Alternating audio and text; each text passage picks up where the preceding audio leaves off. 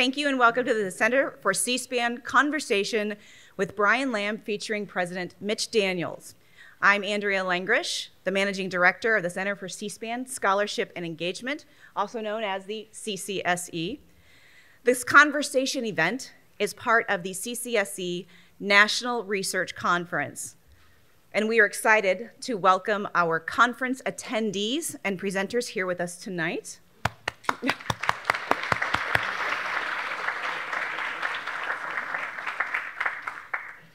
We're also pleased to have with us President-elect Mung Chiang, who will be stepping into the role of Purdue University President January 1st, 2023.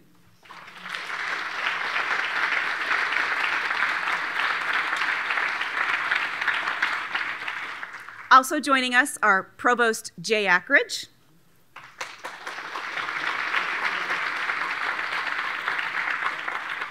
Vice Provost John Gates,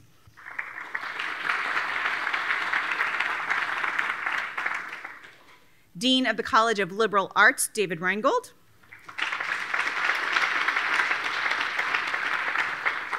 Dean of International Programs, Michael Brzezinski. Oh. Head of the Brian Lamb School of Communication, Dr. Marifran Mattson.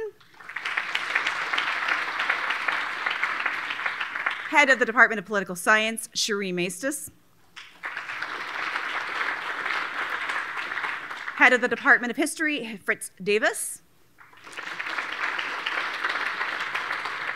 Head of the School of Languages and Cultures, Jen William. and our very own faculty director of the CCSE, Dr. Robert Browning.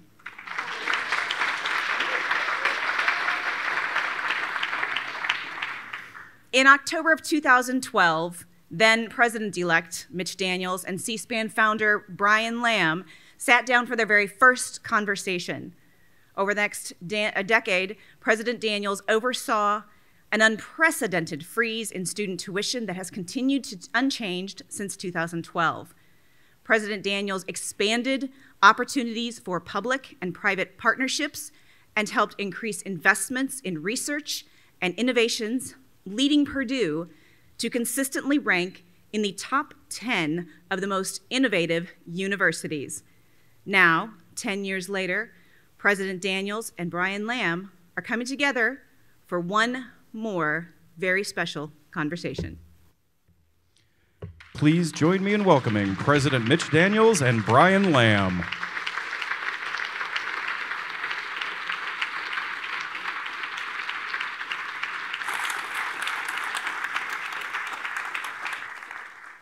Good evening, everybody. Mr. Daniels and I are going to talk for just a little bit, and then we have our fabulous students on either side They're going to ask some questions. I want to start with a very serious question. President Daniels, how many grandchildren do you have? Seven. Seven, and we, uh, we're hopeful the production line is not completely shut down. The, the really important question is what do they call you? Yeah, uh, I'm uh, Papa, which don't ask me where it comes from. Apparently, no one's allowed to be called grandpa or grandma anymore. You know, my wife was very touchy about it. It's Mimi. uh, you know, it didn't matter to me, but that's that's what came out, and uh, it got. I think the first one came up with it, and it got handed down. Uh, you know, that's fine. What's your favorite speech that you've ever given? CPAC. Um, 2011. What was it about? It was uh, about my view, my view about the future of the country and the threats to the country. It was a, a lot of it was about our national debt, which I continue to think is the single biggest domestic threat the country's ever faced, and it will bring a reckoning that our children and grandchildren will hold us accountable for. It was about that, as, well as other I was at that time, of course, an active member of one of the parties, and it was an appeal to people, to uh, uh, like minded people, to, among other things, I, I try to be uh, uh, more welcoming, uh, more uh, open, more engaging, more friendly uh, in the pursuit of bringing the country together. That was what it was about. And people, you know, still ask me about that speech a long time later, which sometimes people don't remember one day later. You're going to laugh about this, but you know, I have a favorite speech of yours. Yeah? He was just talking, he didn't know I was going to do this, talking about it backstage. Butler, 2009. Okay. That's on the list. All right, I got to read just a little bit of it. Yeah. Okay. As a generation, we did not tend to live for today. We have spent more and saved less than any previous Americans. Year after year, regardless which party we picked to lead the country, we ran up deficits that have multiplied the debt you and your children will be paying off your entire working lives. A little more. Far more burdensome to you mathematically, we voted ourselves increasing levels of Social Security pensions and Medicare health care benefits, but never summoned the political maturity to put those programs or anything resembling them on a sound actuarial footing. Let me first make plain that we was the generation I'm part of. I was uh, wailing away on the baby boom generation at the time. I, I think I said a few other um, somewhat critical things, like we thought we invented sex and we thought we, uh, you know, discovered the environment and so forth. Um, yeah, uh, I, I, I, felt that the, the speech, I, I, still think, I haven't looked at it in a long time, I still think I would um, say many of the same things. I certainly do about the, some of the public policy issues you just mentioned. That was only part of the speech, but um, um, I, I, felt afterward that it was probably a success when I could, I couldn't, I didn't turn around to see if I could feel the scowls from the faculty behind me. But the student body and their parents gave me a giant standing ovation. So uh, I, I, decided it was, uh, it'd probably come off okay. This, this next line is for the students here. Uh, in some, our parents skimped and saved to provide us a better living standard than theirs. We borrowed and splurged, and it will leave you a staggering pile of bills to pay. It's been a blast. Good luck cleaning up after us. yeah, I think I did say that. I wish I could say I've changed my mind in some fundamental way over the last 12 years. We, or whatever it's been. I, um, I wrote a book a couple years after that expressing the uh, hope uh, that uh, we could summon as the maturity as a society to make decisions for the longer term. I think that is going to be the fundamental test of this democracy. Uh, and, right, and in all the years since, I can't say we've um, we've passed it. Quite the contrary. And um, you know, people uh, can keep whistling past the proverbial graveyard, but these, this is not going to end well. You know, I, uh, I wrote a column for the Washington Post a couple years ago. I didn't want to write, but it was uh, the theme was sort of know when to fold them. And what, what I said was, I've stubbornly held for many, many years to the hope and the obstinate optimism that we would get on top of our long term fiscal situation and not leave uh, crushing, uh, economy stifling debts to our progeny. But I, I said in that piece, up until the last couple years, it was possible to say if we would just get started on some basic reforms, mainly of the so-called entitlement program, that we, we've got time to make it. We, we don't anymore.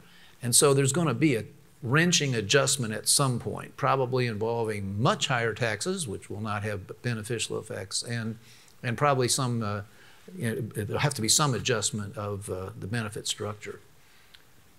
There are a lot of exit interviews being done and legacy interviews. I'm not going to ask him about his legacy. Students might ask him anything they want to. but in case you didn't know it, Dave Bangert, who has done a terrific job with a new newsletter in this town, he's here tonight, did an exit interview that I would recommend to you. Ask the obvious questions, and I'm not going to go over those, but you can find them online. David's put it online so that you can just Google it and uh, call it up and get the as good an interview as you're going to find anywhere on this. And while you're doing it, subscribe to Dave. I get 10%. Well, if you hadn't, even though you did, I'm going to insert a, a, a commercial here. I think uh, uh, another unfortunate reality of our time is that local news has collapsed and collapsed in a very swift fashion. Um, you know, when I left my last job, um, right up till the end, when we would have a news event, and we made a lot of news, uh, there would be a phalanx of really uh, seasoned reporters. My friend Sheila Klinker's down front. You remember, it wasn't, wasn't that long ago. the table in the governor's office, there'd be a host of print reporters. The students in the audience will need to be informed what that's about. There were these things called newspapers.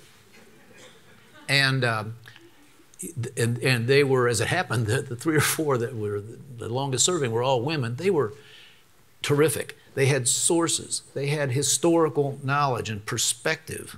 And uh, they had editors who would, you know, somebody was checking their work and improving it here and there. And that really served the public interest. And that has evaporated in a blink. And if you want to know what's going on in this town, you better get you better take Dave Bangert's newsletter. He uh, was the, the lead uh, reporter here in town. He represented the best of local journalism. I used to see it all over the state. It's unfortunately gone, and I don't know if it's coming back, but at least here in, in Greater Lafayette, we got Dave. I got a text last uh, Saturday morning, early, from my friend Robert Browning. Where are you, Robert? He's out there. And all it said was, I know Mitch is smiling now. And I hadn't gotten, I didn't have time at that moment, for whatever reason, to get my Wall Street Journal. I, I, don't read it online, I have to read it in print. And I now know why you were smiling, if you were.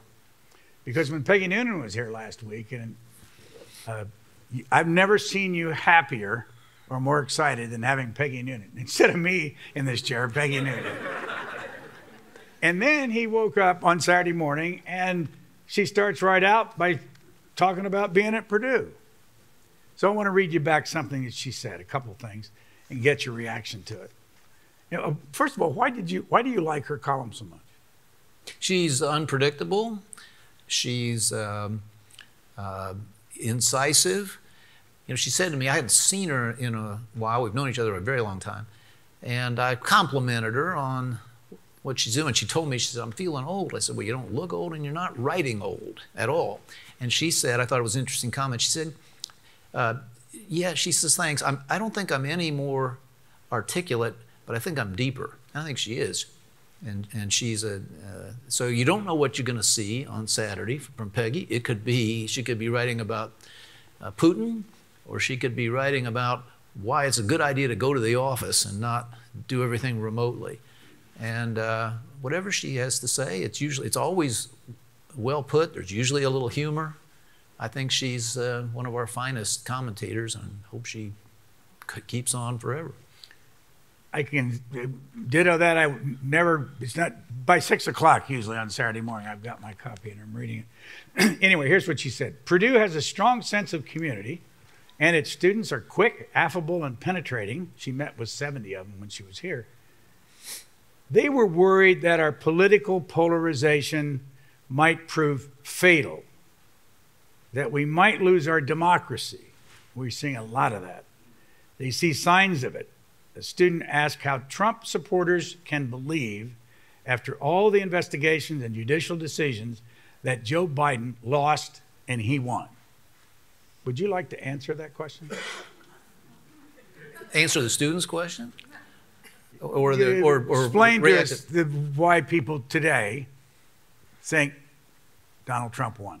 Oh, they've been told over and over and over again, and and uh, you know we I think we all it's human to go looking for evidence of things we wish were true. I mean, I could cite things from the left which are I think are equally absurd and. Um, and um, you know, there's the candidate for governor of Georgia kept telling everybody she had been had the election stolen from her the last time. As far as I know, still peddling that idea. So I mean, nobody has a franchise on this.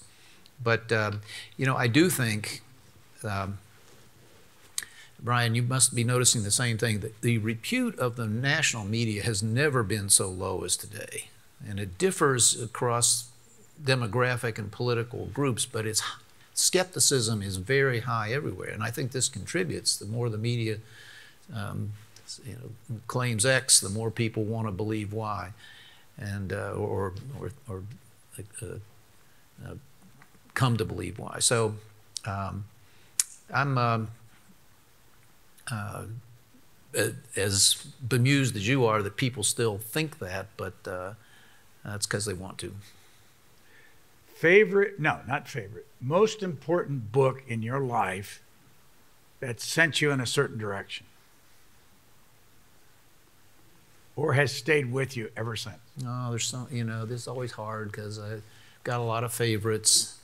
Modern Times by Paul Johnson, I think framed for me um, in a, or filled in all the gaps now, the filled in gaps in my knowledge of why I believe statism is, is a scourge and, a, and a, um, an affront to human dignity.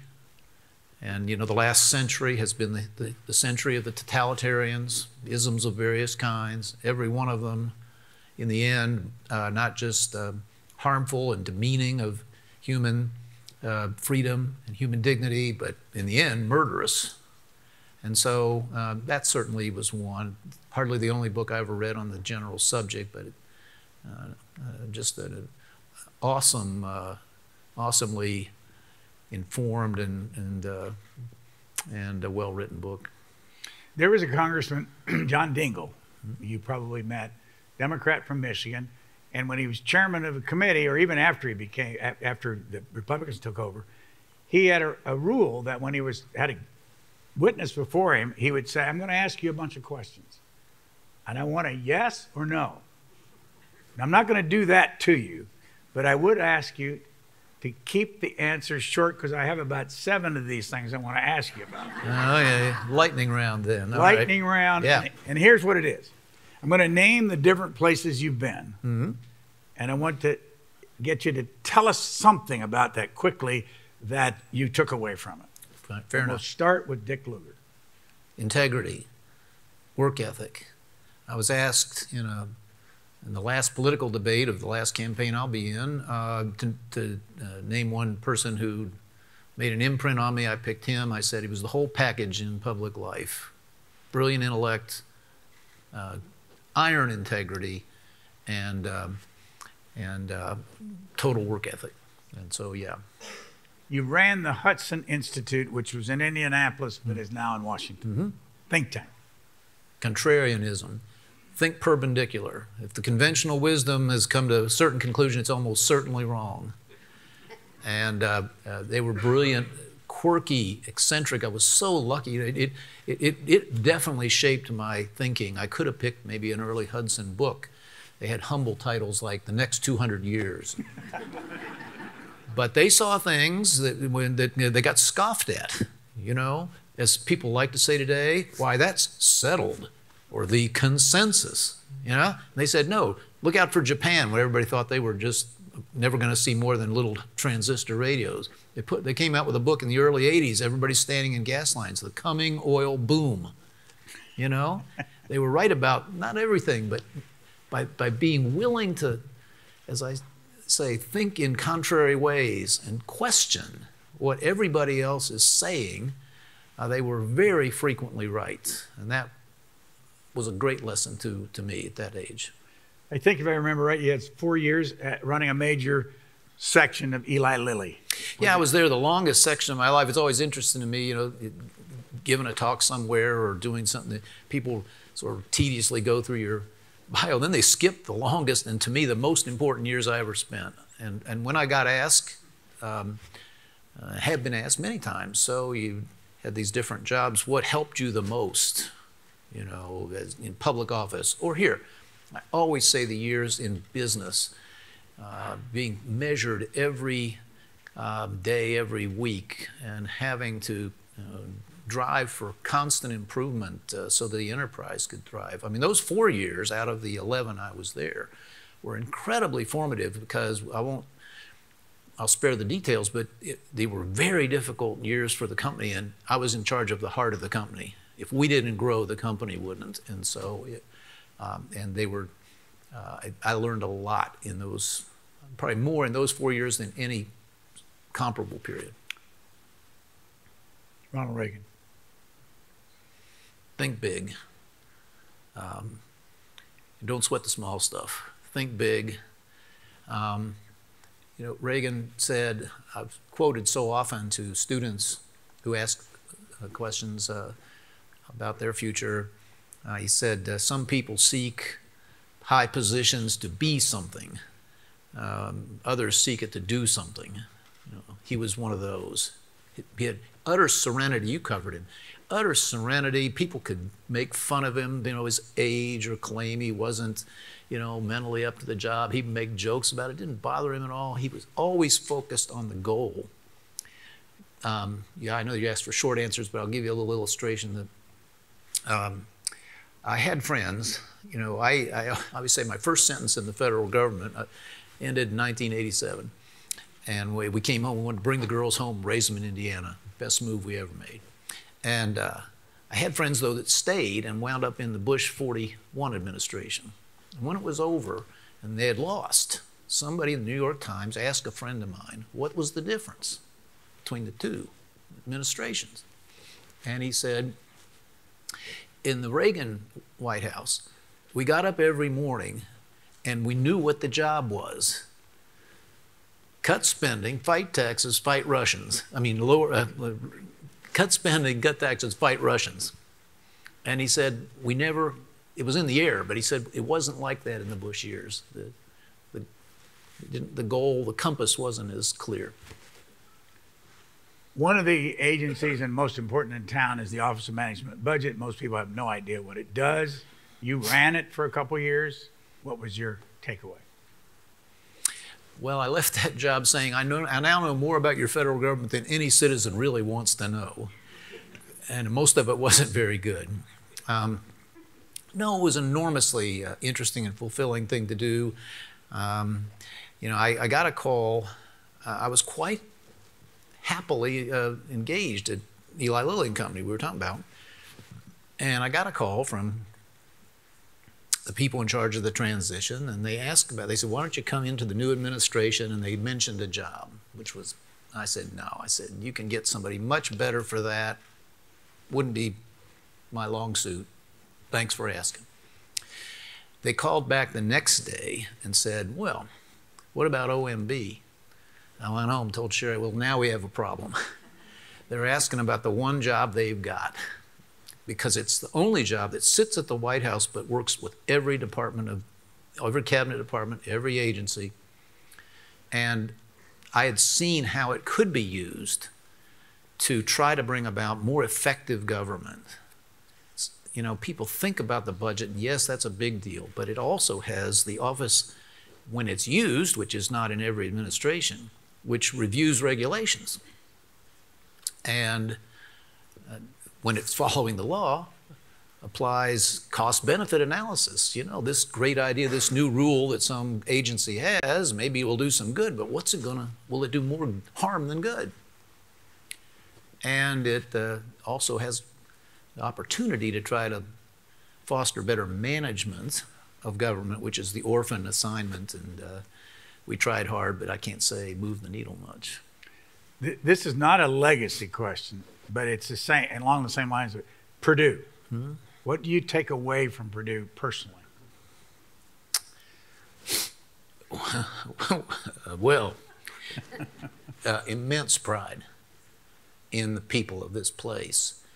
Um, to me, it was a, if I hadn't seen it, uh, having a different character and a special and a special opportunity for service at the time, I, I wouldn't have taken the, the job was the last thing I had on my mind.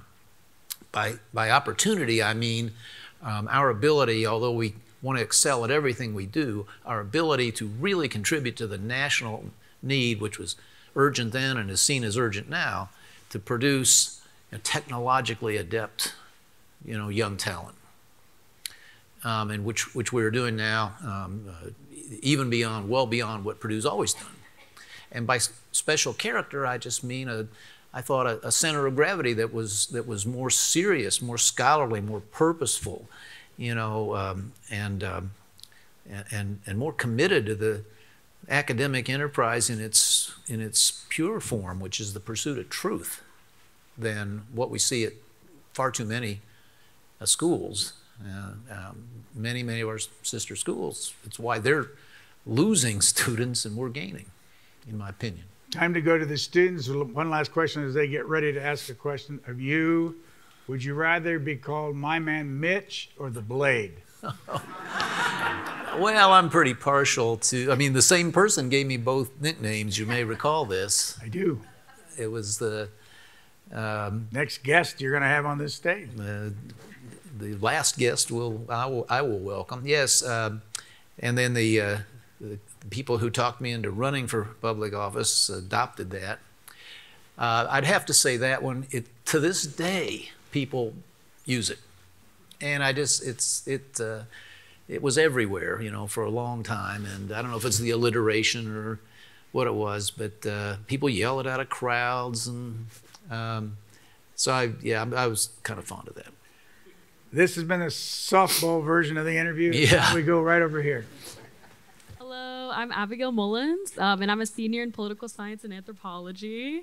Um, my question for you is How do you foresee civic engagement programs and liberal arts programs changing on campus after your retirement? I hope they get bigger. I want them. I've always wanted that. The, the, the college liberal arts is bigger now than it was. It was. It had suffered some declines. I think they've made a lot of changes under under Dean Reingold that have helped there. Uh, and the Cornerstone program, which is an innovation of the last few years that I'm very, very proud and have a little paternal feeling about, has been a, not a, a huge success not only here, but as you may know, was a, uh, noticed and embraced by the National Endowment of Humanities, which has put up a lot of money to propagate it to other schools. Stanford, I think, uh, for example, and others are now using it or a close facsimile. So your college has not only, I think, uh, distinguished itself here on campus, but but uh, elsewhere, where people, I think, at least in places, are realizing that uh, there's a lot of virtue in the greatest things that have been said and written, and uh, part of the growth of a, of a young uh, talent ought to be to be exposed to those things. So yeah, uh, the new business school, I'll finish with this, the new business school, which the board has decided will be the next big uh, venture for Purdue, is going to have at its a liberal arts core. Why? Because number one, young people uh, planning a business career should leave here proud of that and, and understanding if they do it well and with integrity, they'll make the world better. And two, we hear from businesses all the time, boy, your, your, your graduates are smart. They can read an income statement, they can design, they can run a spreadsheet, but it'd be nice if they could write two sentences in a row. so liberal arts, you know, big, big thing for me, and not and never let anybody tell you that that strength and growth in the liberal arts isn't um, fully compatible. In fact, synergistic with a STEM education, which you know many of your classmates chose. All right. Good evening. Um, my name is Avik Patel. I am a senior studying political science from the Chicago area. Mm-hmm. And my question is as the leader of our university, how have you dealt with criticism from Purdue from the Purdue community and beyond? And what was the most difficult part about it? Yeah. Well, thanks, uh, Avi. And, and by the way, welcome from Illinois. I, I generally greet you, Illinoisan uh, students as refugees, and we're happy to have you here.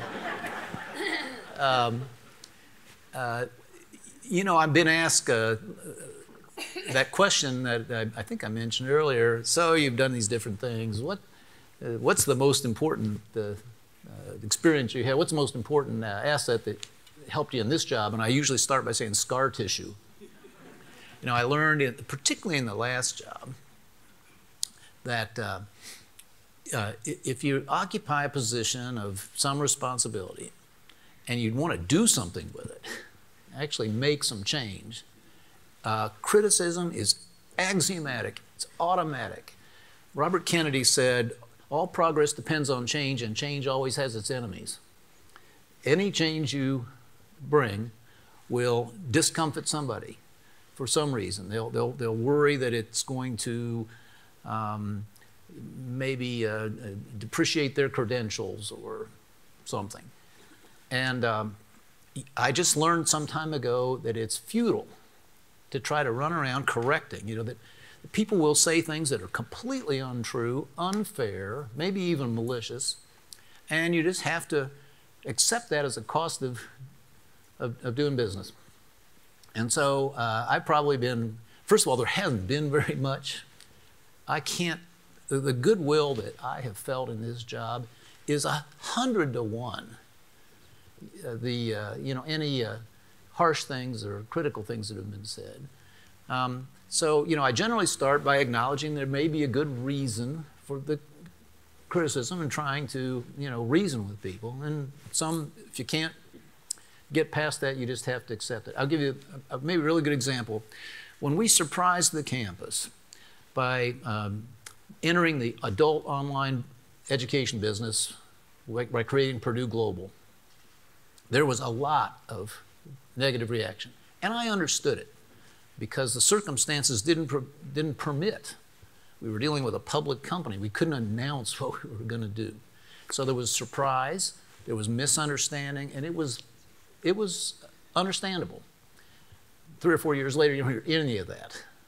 Um, and uh, people, I, we just had this unbelievable uh, uh, commencement here last weekend. I hope you saw some of this. Over a thousand graduates. We're talking single moms a majority were uh, minorities um, graduates, 60 plus percent first generation students, people getting a second chance in life, people who didn't come to per, uh, Purdue at, at your age. Most of them started and didn't finish somewhere. And that's a noble mission. And everybody I know on campus embraces it now. But the criticism was very severe at the time and and I, I had to start by saying I understand where it's coming from. Now let's talk about it. James. Uh, greetings, President Daniels. Um, my name is James. I'm a communication and political science major from Munster, Indiana. I'm a junior. Uh, and I, I, had a question for you kind of uh, into, the, into the future. So uh, very few people get to serve as a university president, and even fewer get to serve for as long as you have. So I'm curious how your unique perspective and, and experience uh, can give you some foresight into the challenges that universities might face in the future? Well, James, um, I'll start by saying that I have probably turned down, I don't know, 20, 30, 40 invitations to go speak somewhere about higher ed for every one I've accepted. I've taken the position that what we've tried to do here at Purdue University, we think fits us, our mission, uh, but we're not preaching it to anybody else. And I think I'll remain very guarded about that. Now, uh, there are some, I believe, shortcomings in higher ed. Others have they've all been fully documented. I'm talking about things like like the stifling of dissent and and free uh, freedom of inquiry. Um, that really deserves to be uh, examined and talked about. And and and I have from time to time. The, the, the need to, for proven value. You know, I was on some interview within the first year or two, and um, they asked what, what we're trying to do here, and I said, I guess maybe we had just announced that first freeze of tuition, which was a big deal after 36 years. And I said, well, higher education at the highest proven value. And I think that I have not found a better way to collapse our goal, or the, what I think other, many other schools have struggled to, to deliver, than highest proven value. I think Purdue delivers that pretty darn well, and I think uh, that should remain a central goal. Hi, um, my name is Allison D. High. I'm a senior studying history and law and society. I'm originally from Zionsville, Indiana. Mm-hmm. Um, my question for you today is What are the biggest challenges you see the university facing after your departure? Oh, Allison, it's going to be all straight up from here. Uh, we've got a great new president, a great team of academic and administrative leaders, which I hope and I have certainly encouraged them to, you know, stay together and keep keep moving forward. Um, I think that the, the the challenges I just mentioned will remain. Can we be a place? I hope an exemplary place that not only uh, protects academic freedom, freedom of speech and dissent, but promotes it. Um, uh, and uh, I, I, I, see every evidence that we can and will. And it'll be a, every year, it'll be an annual a challenge, especially given you know inflation that is now broken loose in the country. It'll, it'll be an annual challenge to keep um, uh, addressing the value question. And I never have spoken about this subject without emphasizing the numerator as much as the denominator. If the denominator, yes, everybody's focused on the fact that we've held the, you know, we've actually lowered the cost of attendance, tuition, room, and board. But that's not the goal by itself. The goal is always value. And so we have invested heavily in the numerator. Jay Akridge here just uh, presided over the biggest expansion of the Purdue faculty in history 213 net new faculty. Uh, we will never and should never um, pursue affordability in a, in a vacuum. You know, you could, you could deliver a very affordable education if it was a lousy one. And we're never, that, so that'll be an enduring challenge, but I just, I know we're up to it. And, uh, you know, we've proved it for 10 years and 11 years is in the bag, and I bet your Mung's already thinking about year 12. Nathan. Good afternoon. Thank you both for being here. Uh, my name is Nathan Miller. I'm a junior in economics and political science from Avon, Indiana. Yeah. Um, so my question is this for you. In 2011, when House Democrats left the state, uh, you never activated state police. Uh, you said at the time that every minority, no matter how small, had the right to be heard. Is Indiana a state that still continues to protect minority rights? And do you have any other notes broadly on Hoosier politics these days? I hope we will always be respectful of minority rights here. it's, it's been our tradition. Um, until the last decade or so, um, we had very competitive politics at the state level. And um, at least temporarily, we've, we've moved to a different sort of position. I, I suppose I'm implicit in that, or complicit in that in a way, because it, it was our big wins in 08 and 2010 that, that created the, the, the current situation. But you pointed out in 2011, uh, a, a fairly small minority did attempt to stop a host of reforms that we had proposed for that year and left the state. Uh, no, we, we try to deal with it not just with uh, some uh, respect, but with a little humor. Um, I was sitting in a meeting of the uh, National Governors Association that spring, pretending to be paying attention. But in the meantime, thinking about this, and uh, I composed a little song uh, mentally to the tune of Won't You Come Home, Bill Bailey. The Democratic leader was named Pat Bauer. Won't you come home, Pat Bauer? Won't you come home? You've been a bad, bad boy. you took your public paycheck, you took our reps and went to Illinois, you know, things like that. and we played that song on the radio. It caught, it, it, today you'd say it went viral. and, uh, you know, we, we waited, uh, we, we made the point, and eventually public opinion, I think, is what persuaded our friends in the Democratic minority to, to come back and, you know, vote no, make your argument, but don't break, don't try to break the process, don't try to bring it to a halt. And um, that's where sweeping education reforms, uh, ending of the inheritance tax, fixing of the unemployment insurance system, right to work law. I'm going to leave out a few. all came from. Chad. Hi, President Daniels. My name is Chad Smithson. I'm from Carmel, Indiana, and I'm studying political science and economics. Chad? Um, my question is this Socrates, that one Greek guy, uh, he notoriously was skeptical of democracy and said that the public was doomed to always vote for the baker peddling sweets that were bad for you and never the doctor giving you your nasty medicine. Do you think that our electorate is equipped to vote for a doctor giving us medicine, or are we doomed to always cater to the sweet peddler? Chad, that's a very that's a better way of expressing exactly the concern that I talked about 20 or 30 minutes ago. It is the test. You know, when I, wrote this book, I'm not selling it. It's going to out of date, I guess. Um, but um, I had an, the only argument I had with the publishers, um, Penguin.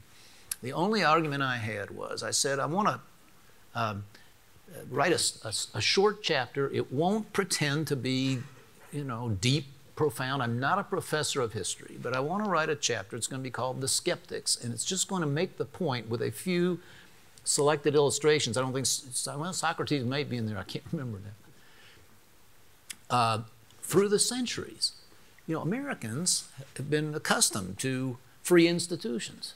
We think that's what it's supposed to be. Not that long ago, one of my guests in the lecture series, Francis Fukuyama, wrote a famous piece, The End of History. Free institutions have proven themselves. They're going to sweep, they're sweeping the world. Well, they didn't. Um, the point of that chapter was throughout history, history has mainly belonged to the tyrants and the autocrats and the dictators and the warlords. And this idea of consent of the governed, there have always been people who said, oh, yeah, well, that can work for a little while. But eventually, human appetites take over, you know, the yearning for a, a, a, a proverbial, you know, man on, on the white horse, or just the fact that, that uh, uh, people in high positions would promise more than they could deliver or choose to pay for. And I do believe it is the continuing, it's going to be the test of our democracy. And I'm hoping, since our generation didn't address it, that yours will. How long did you teach the World War I course? Um, every year after the, uh, it started in 14, so seven or eight, eight years, I guess. Why did you teach it?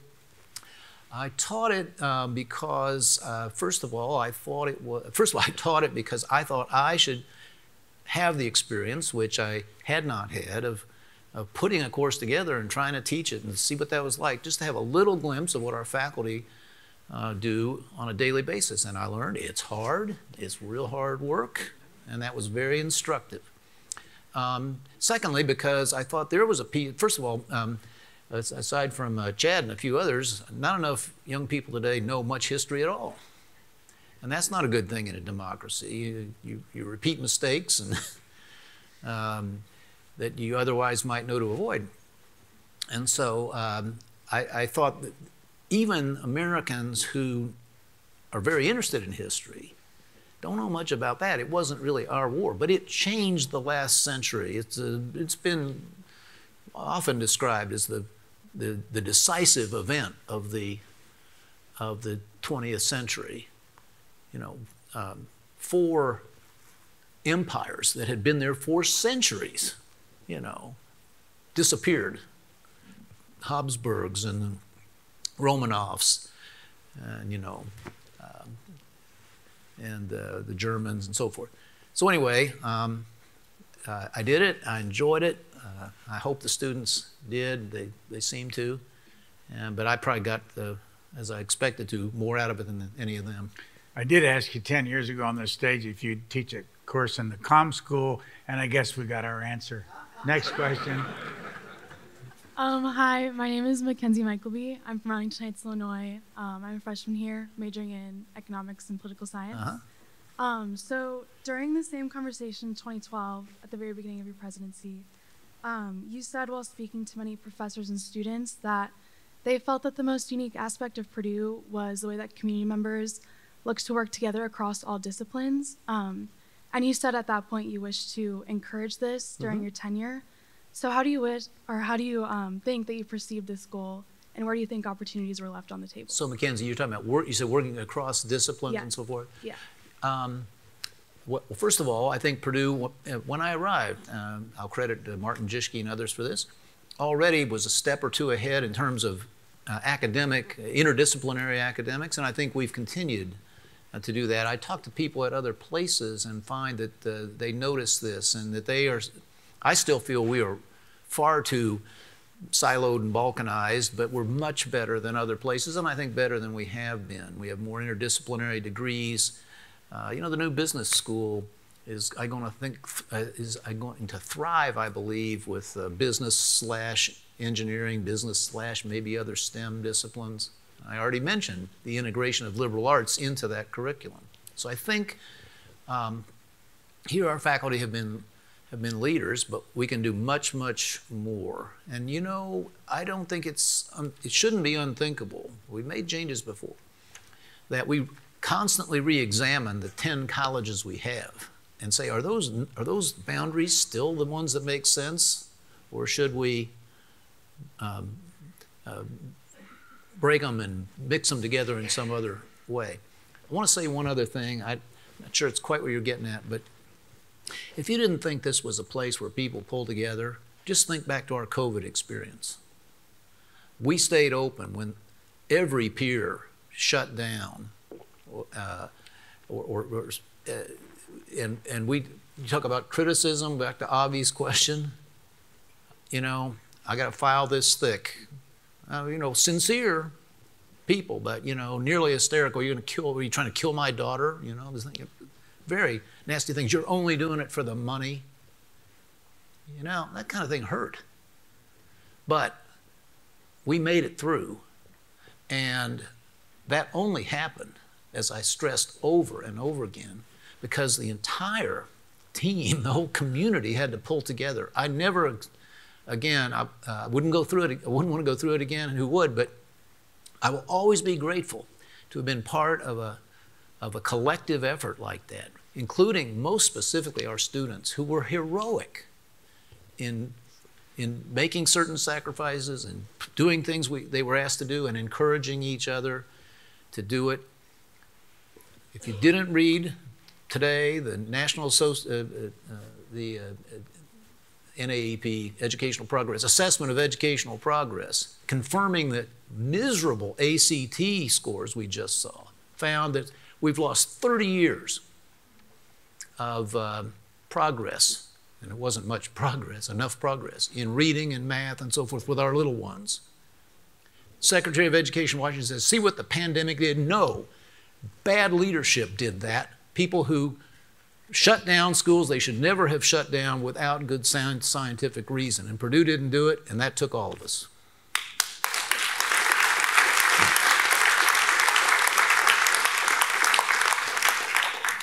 Good evening. My name is Danya Rao, and I'm a junior uh, studying political science and communication, and I'm from Half Moon Bay, California. Mhm. Um, as I stood here, Brian was actively stealing my question, so sorry, Brian. But um, I'm also a student in the John Martinson Honors College, where you've taught that World War I class. Uh-huh. And while I haven't had the chance to take it, um, I wanted to ask, beyond the content that you covered um, about World War I and its impacts, what value have you seen, and what impact has had that has teaching that class had on you?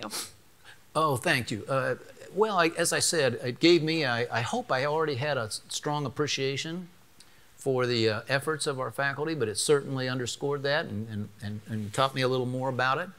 Um, it uh, I think I got better at it as I went along. I, early on, there was so much I wanted to get across to the students because the, uh, the events we were talking about uh, were transformed everything about the world. As I said, they changed the maps of the world, but we also spent, uh, for my liberal arts friends, we also spent one whole module on how it changed the thinking of the world. We read poetry and novels and, and, um, and, other, and other literature. Uh, and um, uh, it's, it's, as I went along, I tried to learn to discipline myself more. Don't try to get it all across uh, as one uh, faculty member advised me, try to do enough that the students might want to go learn the rest on their own. Just get them, try to get them interested enough. So I got better at it And, uh, but it, it certainly deepened my appreciation for what your teachers um, put into, into it, and I hope you appreciate them too. Matt. Hi, President Daniels. My name is Matt Stockler. I'm I from know who you Wayne, are. I'm a junior in political science. Yeah, hey, Matt. Good to see you again, sir. My question is, um, what has surprised you the most during your time at Purdue? Yeah, the food. Because I got this question a lot at, at first. Uh, I'll try to give you a serious answer in a second, but, but uh, no, I mean, uh, when I got here, and I've eaten countless meals in the dining courts and so forth, and I just couldn't get over it when I first got here. I, I kept telling whatever students I was sitting with, I mean, you guys don't get it. College food is, this isn't college food. College food's supposed to be all the same and terrible. and you guys have 15 choices. You know, to this day, I can't handle our dining course. There's too many, too much selection. I always just, you know, freak out and default to the salad bar or something I understand. Um, no, um, I, you know, I, I mean, I, I think that um, I was, I hoped to find it, but I'll say I was pleasantly surprised at the purposefulness of you and your fellow students. And the more I saw of other places or learned about other places, the more grateful I have been. Uh, you know, sure, with uh, as we approach 40,000 undergrads, um, uh, Jay and I frequently say, well, you're going to have a few knuckleheads, but uh, I think the knucklehead quotient here is pretty low.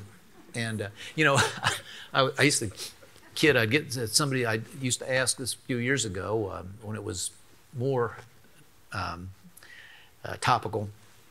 People say, Are you having uh, student unrest problems at Purdue? I go, Oh, yeah. yeah. Are we ever? I said, I got a petition on my desk. this is true. I got a petition on my desk right now from 1,200 students who are irate that we're closing the Hicks Library at midnight because they're not done studying. I said, if that's not bad enough, the, the leadership of the Rifle and Gun Club is all over me because we don't want them to fire off lead ammo, ammo in the armory anymore. so, you know, not to make light of in, uh, too much of, uh, of any of that, but uh, I, I, just have felt, uh, I sensed it, but I had to be here to see it, that our students, and by the way, they're very much encouraged and, and uh, insisted on, I think, by our faculty, are here for serious study and applying themselves pretty seriously. And um, you know, that's, that's what we want, that's what we want to be. Hi, President Daniels. My name is Will Courtney. I am a sophomore studying political science and media and mass communication. Mm-hmm. Uh, my question for you today is about student loan relief. Uh, Yeah. Recently, President Joe Biden offered student loan relief up to $20,000. Oh, excuse me. Um, my question for you today is about do you expect more student ro- lo- loan relief to come from the federal government? And if you do, what do you think the effects of that is going to be? Well, I hope it doesn't come at all. I hope that it's headed off either by some uh, uh, epiphany on the part of the administration or um, um, more plausibly, I guess, by some court that decides that no president of the United States of any party, any time, should have the authority at a stroke of the pen to spend $600 billion. Article 1's pretty plain about where the power of the purse is supposed to be, and you political science students didn't need me to tell you that. I think it is, uh, and I'm not telling you anything I haven't said in print and elsewhere. Uh, I think it is one of the most pernicious uh, public policy steps I've ever seen. I, I find no redeeming qualities to it. It is, uh, first of all, it is regressive. Uh, it is, uh, it, it rewards people who don't need it um, more than people who, uh, you know, putatively do need it. Um, it is incredibly unfair, which I feel acutely here. 99 plus percent of Purdue graduates pay, have historically have paid off their student loans. Well, you know, what are, what are we to say to them when suddenly some other folks are let off the hook? Um, and um, it is a fiscal disaster on top of many others. I, I'm returning to that subject for the third time, so I won't belabor it but several hundred billion dollars more debt, which, by the way, note the irony. Some of these young people may be happy today that they get some of their the money that they freely borrowed forgiven. Um, but uh, they're going to get the bill, and you will too, even though you will pay off, I'm sure, any student loan that you take out. Uh, I think it's a terrible moral lesson to the country. you know, that you know you don't live up to your obligations. So, um, uh, other than that, I have no problem with it. Good evening. My name is Sophia Rivera. I am from Chicago, Illinois. I'm a sophomore studying political science and professional writing. And my question for you is Is there any advice or anything that you wish to leave the current student, student body with as you depart from your role as president? One, th- one thing for sure, Sophia, is they should emulate you by studying writing. Um, here's something I learned in that, uh, remember, honors college class. Uh, it was uh, one, one year I was 40, and then I realized since I was grading all the papers and all the exams and everything myself for the learning, which my faculty friends thought was humorous, you know. How many, how many TAs you got? I don't have any. You know, they think, what are you thinking? Well, what I was thinking is I should learn this work by doing it. Well, um, so uh, 30 to 40 students, brilliant students, I, some of them are already on by now on their way to great careers as you know doctors and scientists and engineers and business leaders and so forth. Uh, hard to find one of them who could write worth a lick. I wrote a Washington Post column about that. And I heard from English teachers and other people all over the country said, yes, you know, what is with this? So one, one piece of advice I would give is whatever else you're doing, whatever you're studying, read, try to read. It's hard to write excellently if you haven't read any excellent writing. And so, whatever interests you, I always encourage uh, biographies, by the way. Here's another piece of gratuitous advice. But people, you know, it, people say, well, what can I read if I want to become a more effective leader? And I tell them, maybe it's me, but I have never really found one of these how-to books that I thought was very valuable. You know, there's 20 of them on every airport newsstand.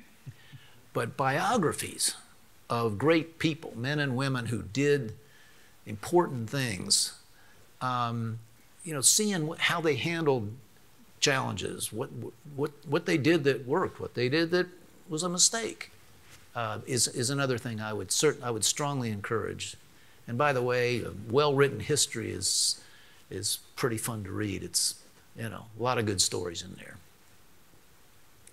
Hi again, President Daniels. It's Shy Robinson again. Oh, um, shy. You're not very shy, but uh, thank goodness you're not. Wow, that's the first time I've ever heard that. Yeah. um, if you don't know, I'm a junior. I'm a double major in political science and brain and behavioral science. Um, and I'm from Fort Wayne, so, one of the pieces of advice that I first got when I was a freshman here was from the Career Center, and it was to be memorable good um, and people's, you know, their impression of you. So, what have you done personally to make Purdue a memorable good experience for its students?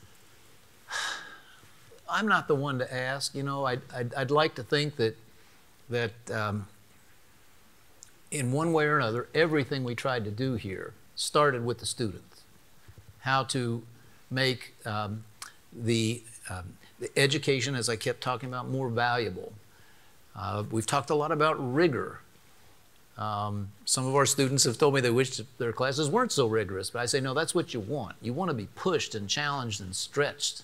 And that's been part of Purdue's reputation, and I hope we don't lose it. I've surfaced this with our faculty on more than one occasion. Obviously, you know, affordability.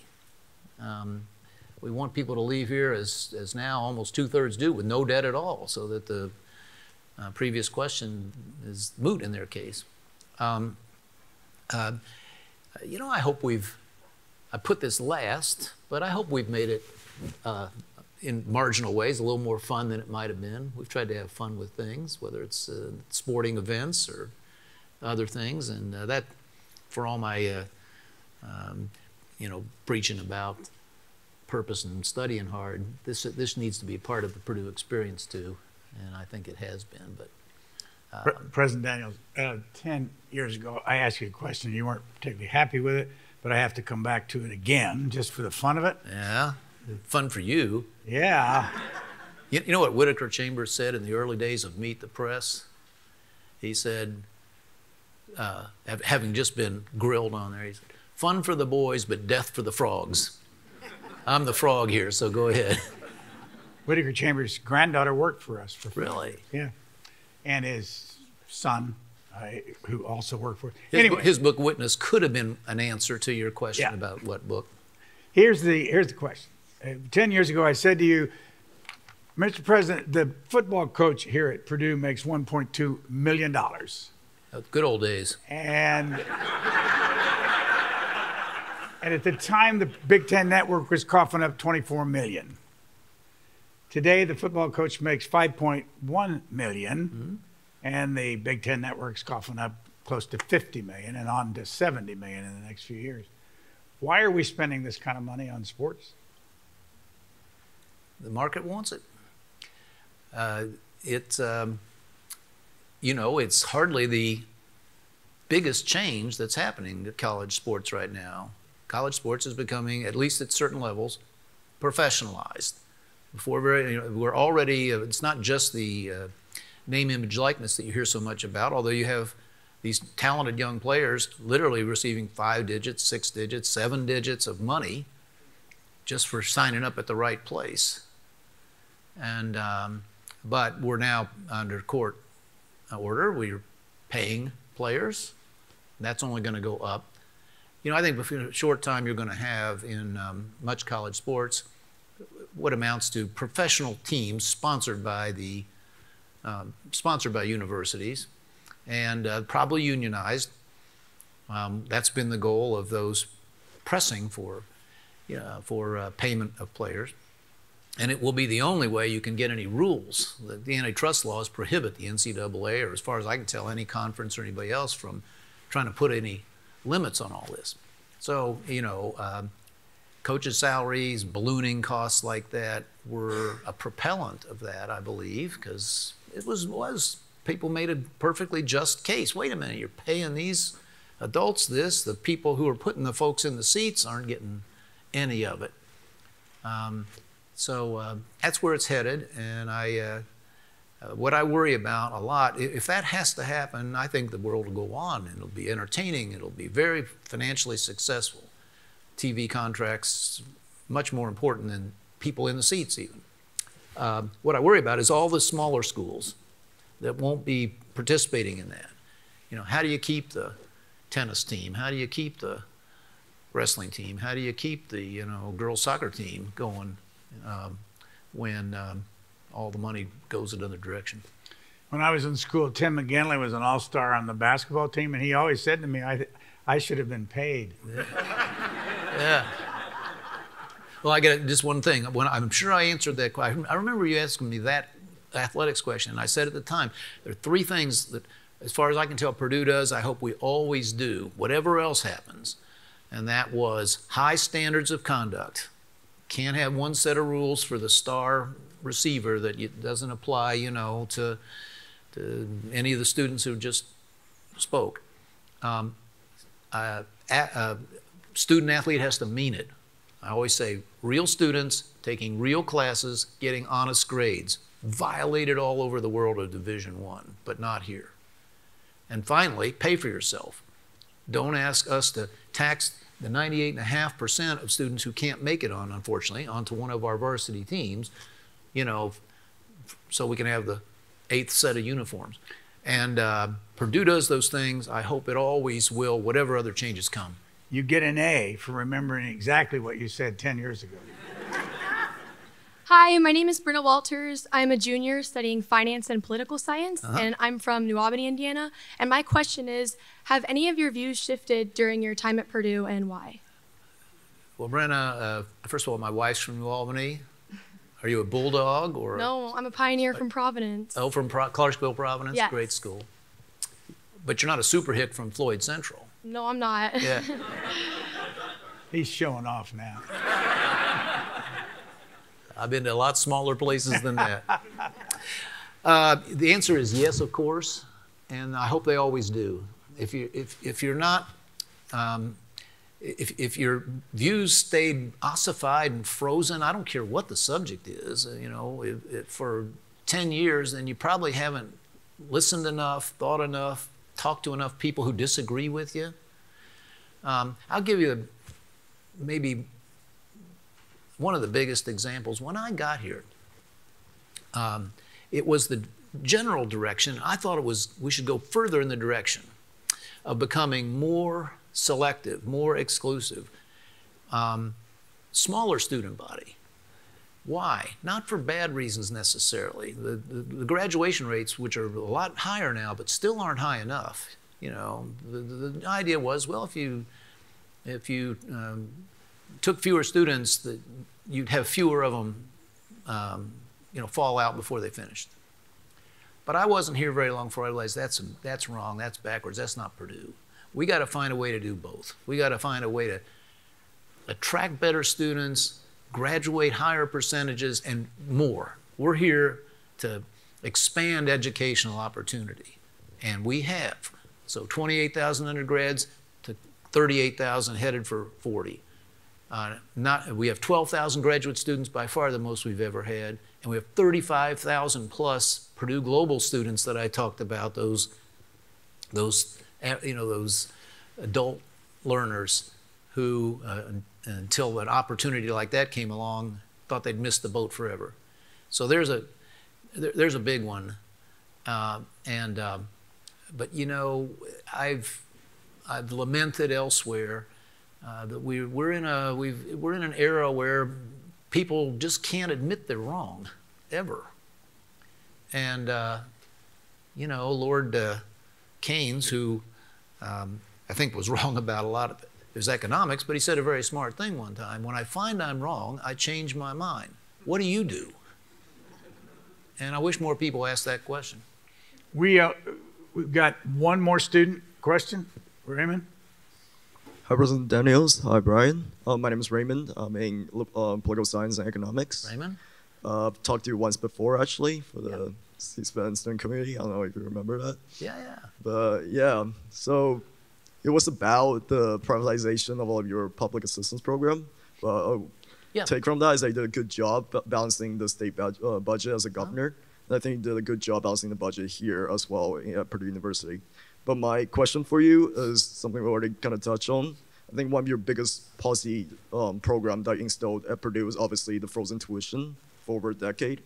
So I want to hear you talk about some of the positive effect of that, like the opportunity created, but also some other things that kind of affected both from like out-of-state uh, students, international student, or the largely increasing uh, incoming student body every year and a little bit of a housing crisis that uh, you kind of created on campus? Well, um, let me just say that we had crisis, which is an overused word anyway.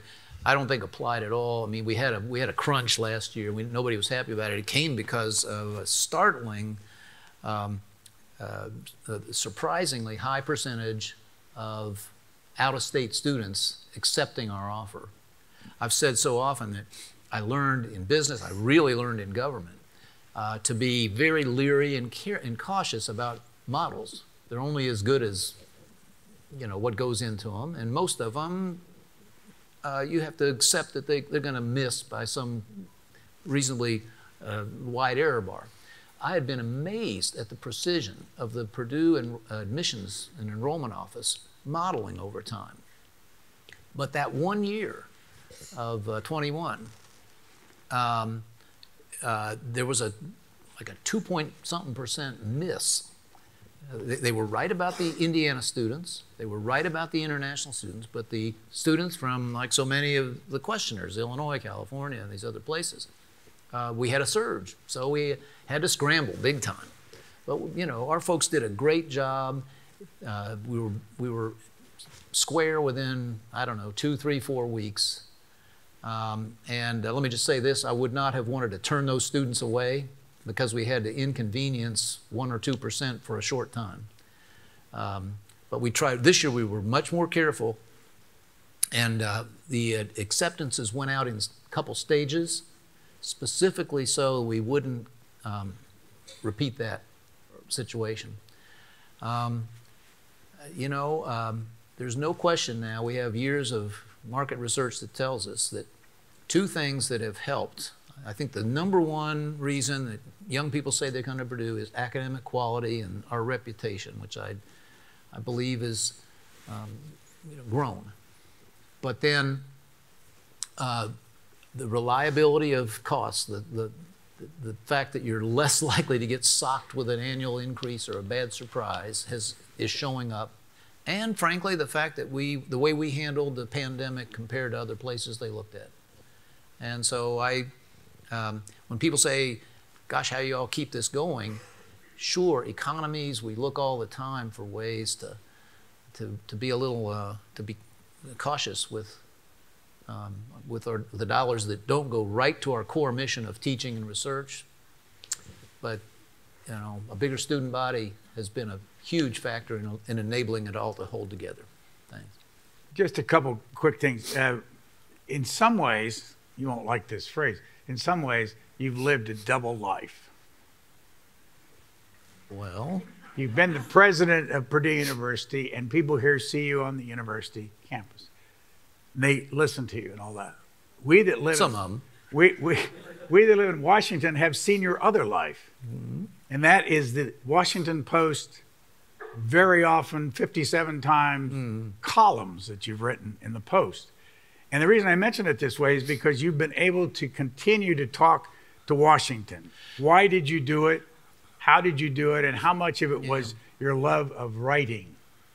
Well, I wouldn't. I wouldn't put that. I mean, I I wouldn't put that on the list because it, has it, been um, it's been a, a, chore. But I'll tell you the story. I mean, um, first of all, I I felt from the day I said yes to the job, said to so many of our students, in any job you take on, the first question you should ask yourself is where can I add some value?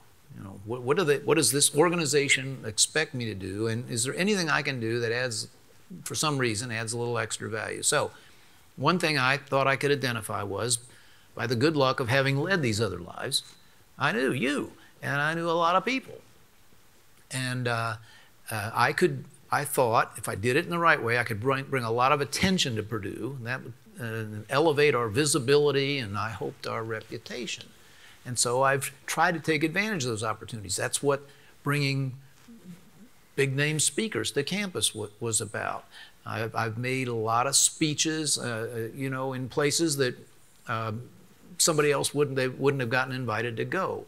I've taken not all, but tons of you know, cable TV and news programs where they ask me, and not the president of you know, some school in Bloomington or somewhere.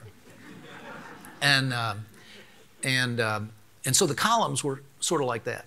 So a wonderful, wonderful journalist that we lost, the late Fred Hiatt, was after me for quite some time. He said, "I'd like for you to write for us." I had, you know, he I'd written things in other places and occasionally in the Post, and he and he said he'd like me to do it. I took a long time. I think it was months because I took a vow when I came here. I'm not. I'm never going to do anything that borders on partisan politics. I, I, I had already stopped doing that at the time of our interview. You know, six months to go in the last job, and so there was that. I said, "Well, Fred, uh, I'm not going to write about anything that has to do with that. Besides, you got a stable of people who that's all they write about." And um, but I finally decided and I talked to a bunch of our faculty and others about it. I finally decided, look, if I can put Purdue's name in front of that readership on a regular basis, and if I'm thoughtful about what I talk about, and uh, then um, it, it's worth doing. And I, I think that's been the case. But you know, I try to write about stuff that's in the seams that those people in, there, in Washington don't know about. The Midwest, riding motorcycles, you know, uh, college sports.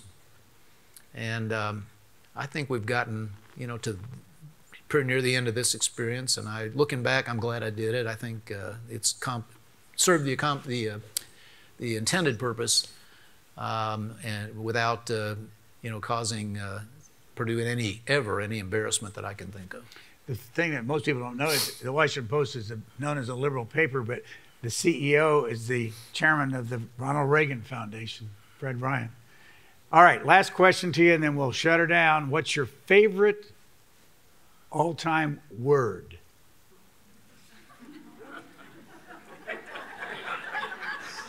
Cheri.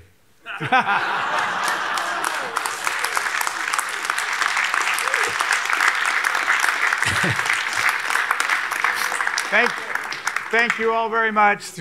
Thank you.